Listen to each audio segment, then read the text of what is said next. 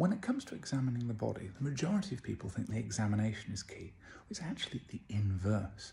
Our history gives us 70 80% of the diagnosis, and our examination is merely to confirm what we found.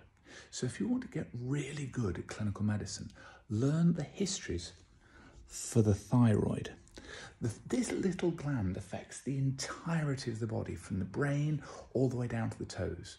You know, if we're talking about mental health, low mood and anxieties, if we're talking about weight, so weight loss, weight gain, if we're going to be talking about issues with your bowels in terms of constipation or diarrhea, even talking about fertility, this little organ affects everything. So it's a little bit like the accelerator for the body.